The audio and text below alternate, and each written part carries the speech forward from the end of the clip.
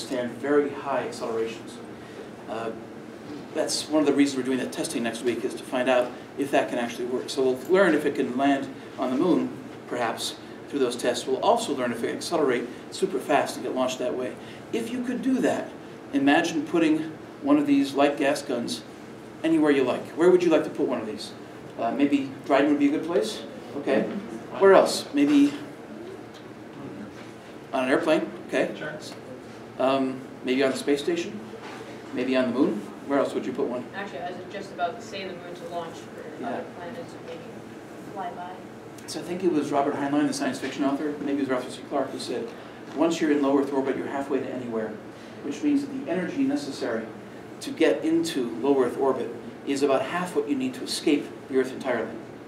So if you can get all the way to Earth orbit just by some other means, let's say get to the space station, launch from there, uh, you can go to asteroids, well past the moon, maybe even make it to Mars. So that's a project in the future. We'll see what happens. What I like about uh, thinking about these things is they're not completely wacky. We can, in fact, build this hardware. It is possible to do this and to do it really cheaply, which means we might all be able to participate in that kind of activity at some point. So let me wrap up with this uh, little story here. One of the exciting features of these very small spacecraft is they don't take much energy to get moving quickly. So I mentioned the gun as an example of one way to get these things moving past Earth orbit. Uh, so they don't propel themselves, but maybe something else could propel them. Interstellar flight is one of those clearly science fiction topics, right? By interstellar, we mean somewhere between here and another star. The farthest any human-made spacecraft has ever gone is just at the ragged edge of the solar system. It's called the heliopause. It's where the pressure from the sun meets that stuff that surrounds the uh, solar system. What would it take to get something beyond that in a reasonable amount of time? In fact, we've found out that uh, Proxima Centauri, which is the closest star to Earth, it's a red dwarf, it's barely visible, uh, has orbiting around it a planet which is roughly Earth size. In fact, it's also close enough, but not too close, to Proxima Centauri to be in the so-called habitable zone. That is, the temperature's about right. Isn't it convenient that the closest star to Earth also has a planet that might be habitable, or at least it looks like it's in the right zone? I think that's a fascinating opportunity. If ever we were to send a spacecraft to another star, it's probably to that one, at least in the near future.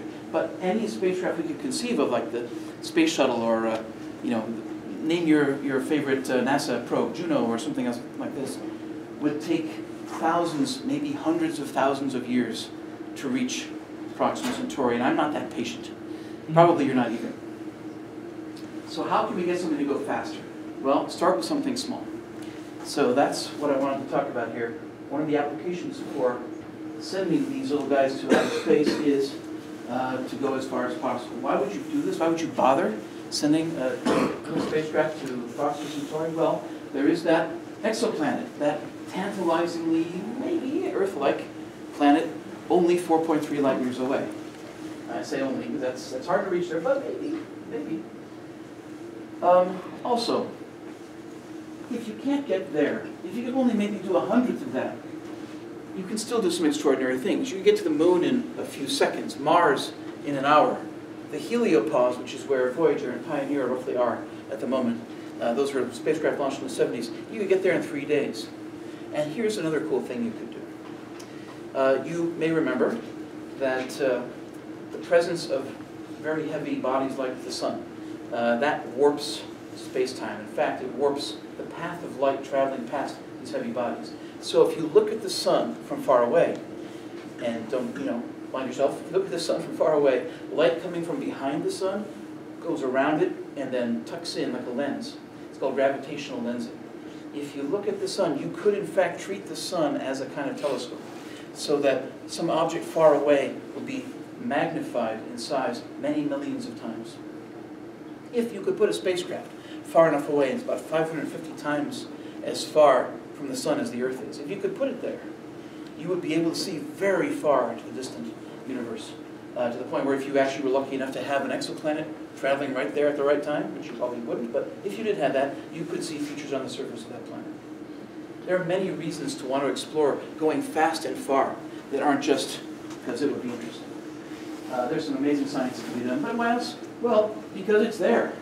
Um, George Mallory met kind of a sticky end, but he was an advocate of exploring because, you know, that's what we do. That's what we do as humans. Here's one reason why this is hard. It's kind of a weird picture, but imagine a logarithmic scale of distance here, starting from the sun. Uh, you can't see the numbers here, but don't worry about it. As you go farther and farther away, I'm compressing space by orders of magnitude. So the sun, uh, the orbits of uh, Mercury, Venus, Earth, and so forth. Here's the asteroid belt. The planets, uh, Jupiter, Saturn, Neptune, and so forth, get compressed into little lines. It is so far between points where you get any light to do anything with that you either have to store up all the energy you want at the very beginning uh, or come up with some technology we don't know. But there is maybe a way to send something very far from our orbit and get it where we want it to go. And it's called the Breakthrough Starshot Project. This is a project where uh, I'm an advisor, there's a number of other folks from Cornell who are advisors. There's a billionaire in California who wants to send one of these little uh, sprites to a distant star. His plan is roughly 20 years from now, he expects the cost of lasers to be low enough that you could shine laser light onto a sprite, accelerate it at about 60,000 times the force due to gravity, do so for about two minutes, and this little chip would reach about 20% the speed of light. Now remember that the speed of light is the speed limit of the universe, right? There is nothing that we know that goes faster than light. Getting to 20% of that speed requires a ridiculous amount of energy. That's why 50 gigawatts of laser power shining on this thing. And before you get excited, yes, there's lots of hard things to solve here. But if you could do that, uh, this is about the only way to get something to Proxima Centauri in a human lifetime. At 20% of the speed of light, it takes about 21 years of time as reckoned by us on Earth. Interestingly, because of relativity, uh, time passes more slowly on our sprite, and it would experience only 20 years for the voyage. That's kind of a neat little feature. What's your question? So th- this would be very slow, but since space has barely any friction at all, wouldn't you be able to just cut out, just store all of the power for later and let it drift through the dead zone? Yeah, that's exactly what you do. That's exactly the plan. So, uh, for the first few minutes, in fact, it's just about two minutes, it accelerates like mad, and then everything turns off, and for 20 years or more, it just coasts, does absolutely nothing. And then when it arrives or gets close to Proxima B, things turn on again. It takes maybe one picture and answers a difficult question with a few bits of data because with as small as these are, even if you had the sunlight of Proxima B to help you send the data back, you're not going to be able to send a whole lot of data. But it does seem to be possible. It does. Uh, it is physically possible, mathematically possible, to send a few bits from Proxima B using a one watt laser. That's why there's a little tiny laser on board that chip, because maybe we could send a little bit of data back. If you could send one bit from a distant star, what would it be? It's a good question to ask yourself. I think it's the answer to a complicated question. Yeah. So think about that. As crazy as this sounds, it's this kind of technology that makes it possible, and it's thanks to technologies outside of aerospace. It's thanks to, once again, commercial off-the-shelf electronics. Uh, the ability that we now have to make electronics so incredibly cheap that we can make any level of sophistication we probably would want um, to fit on something as small as what I just handed out to you. So I won't go through the details here, but there's a processor, a little laser diode, some cameras, um, and lots of other cool stuff that uh, actually live on that chip. If that were possible, 20 years from now, it would reach Proxima Centauri 20 years thence, which means someone like you existing is going to be about 52 or so. And uh, at that point, you can tell your kids that you were here when uh, you heard about this idea. Of course, it don't take, take twenty years for the data to get back. all right? It, it uh, takes 4.3 years for it to get back. Yeah, four point three. Maybe I got your age wrong, I'm not sure. But, right, so at light speed, 4.3 light years and 4.3 years. Anyway, that's one of the ideas we have for this thing. Uh, and as exciting as that is, let me bring us back to, uh, to Earth here. Uh, I like the idea that this kind of technology levels the playing field and allows us all to dream big, the way that probably in decades past it was only rich people or maybe folks who were working for NASA who could hope to participate in this kind of thing. I'm telling you, we can all do it now.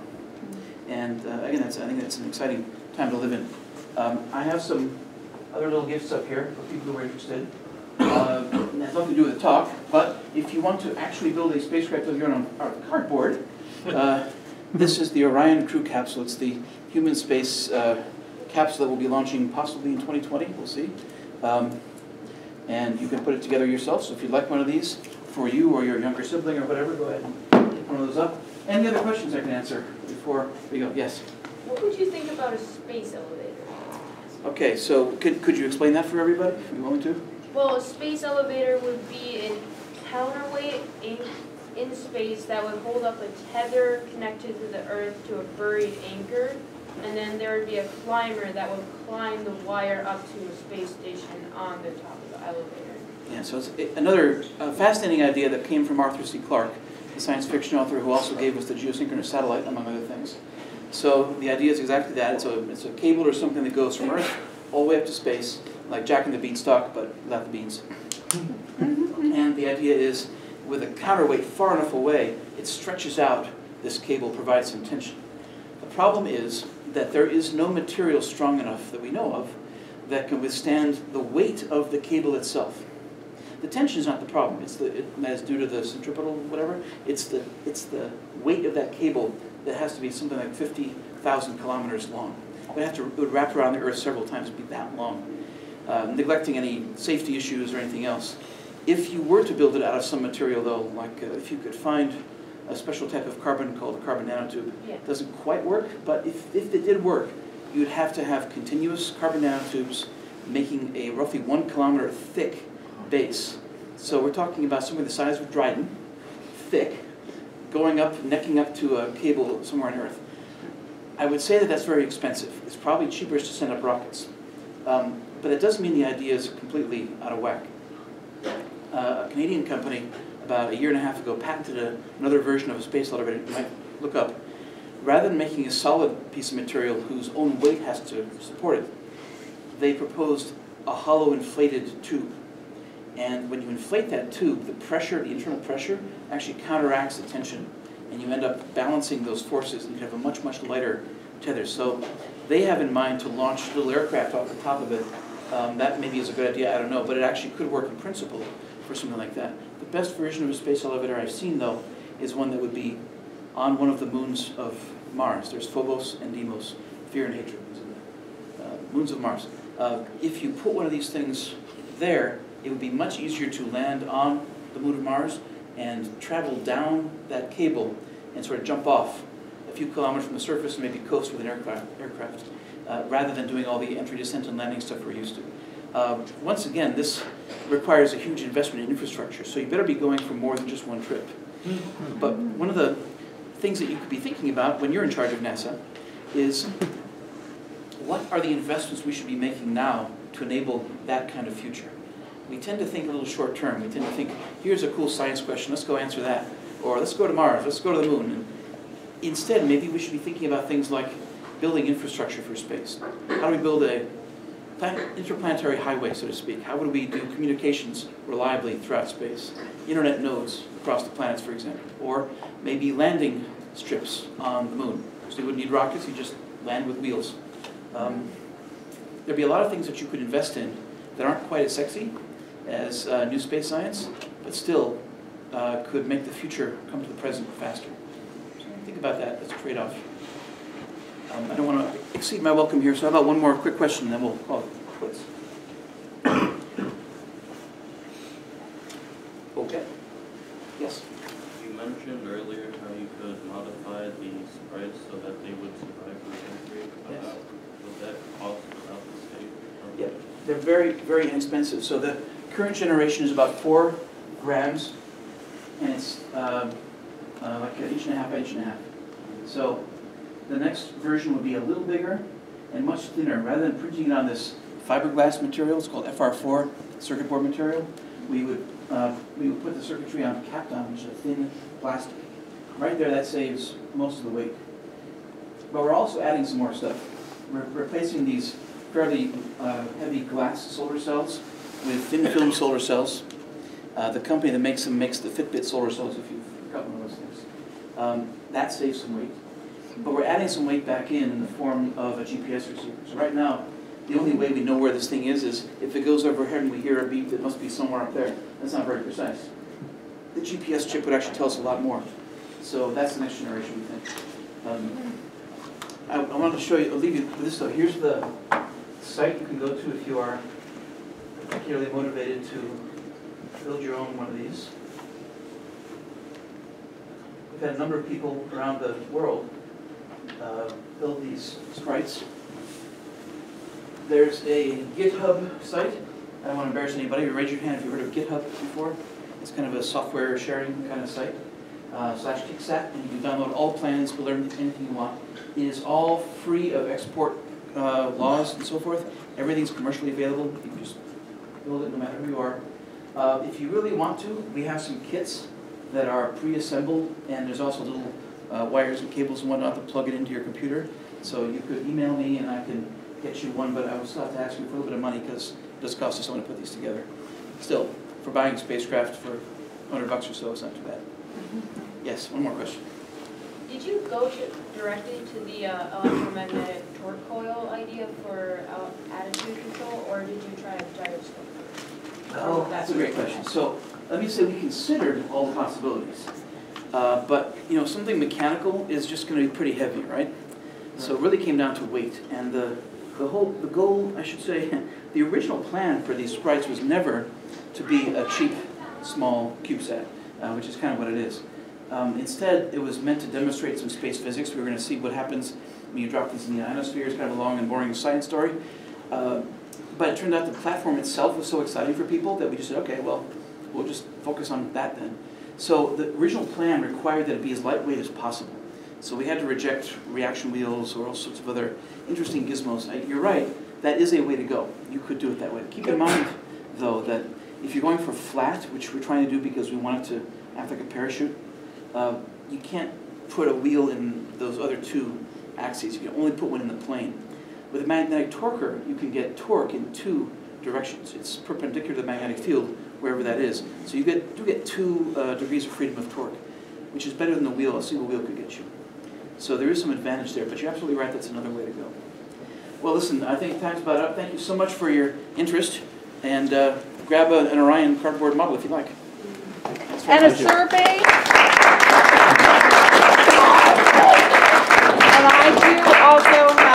Official NASA stickers. So, grab a survey, grab a sticker, and you're good. Those look surprisingly cool.